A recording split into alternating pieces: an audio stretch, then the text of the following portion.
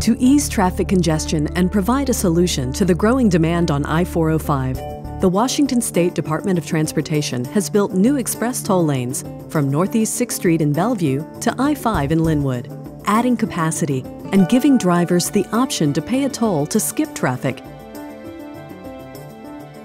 From Northeast 6th Street in Bellevue to SR 522 in Bothell, the express toll lane is combined with the HOV lane to create two express toll lanes in both directions.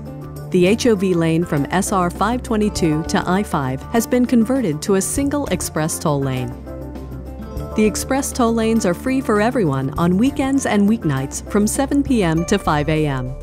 Transit and van pools are always free, as are motorcycles with a Good to Go motorcycle pass. Carpoolers must meet the occupancy requirements and use the Good to Go Flex Pass set to HOV mode to travel free weekdays from 5 a.m. to 7 p.m. For toll payers, tolls will adjust based on traffic congestion, increasing as congestion increases in order to keep traffic moving. Signs above the roads will indicate toll rates for different destinations. You will always pay the toll you see when you enter the lanes, even if they change for your destination during your trip. Learn more about I-405 Express toll lanes at goodtogo405.org.